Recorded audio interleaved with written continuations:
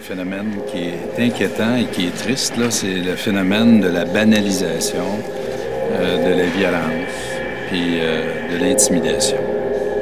Puis là, ben, on, dirait qu'il y a comme euh, une habitude qui se prend, que là, c'est devenu acceptable de faire n'importe quoi et que tout ça, c'est justifié par toutes sortes de raisons. Alors là, je pense que tout ça, là, ça s'inscrit dans ce contexte-là.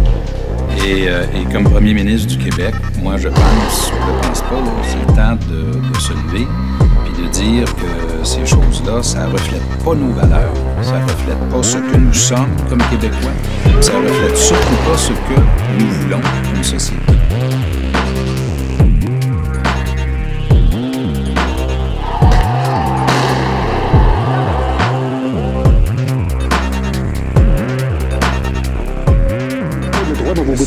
Et un discours que vous avez aussi, je trouve, c'est un discours d'abuseur, de batteur de femmes. Le gars qui dit je te frappe parce que tu c'est un discours d'abuseur, de batteur de femmes.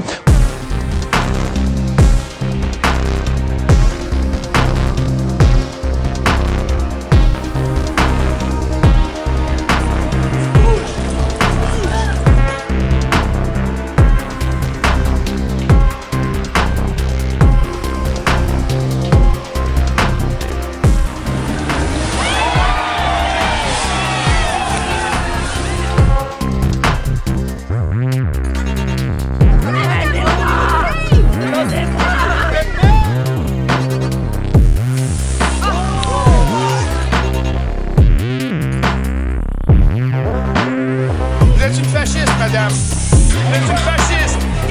Fasciste. Vous êtes une fasciste.